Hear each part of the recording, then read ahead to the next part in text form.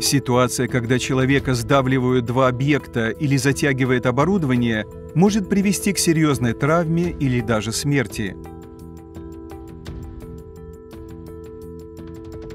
Берегитесь потенциально опасных мест.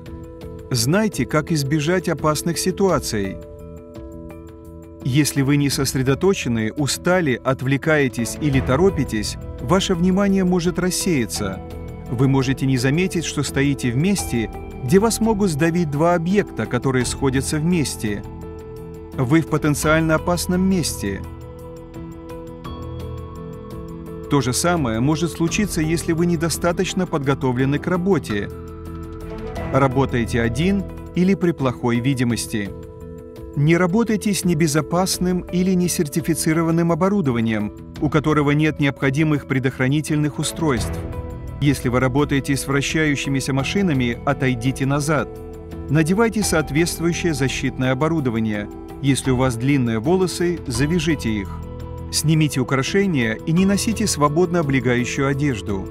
Убедитесь, что у движущихся деталей стоят заграждения – Перед тем, как включить машину, узнайте, как ее выключить. Убедитесь, что вы знаете, как работает машина, и держите пальцы, руки и ноги подальше от ее движущихся частей.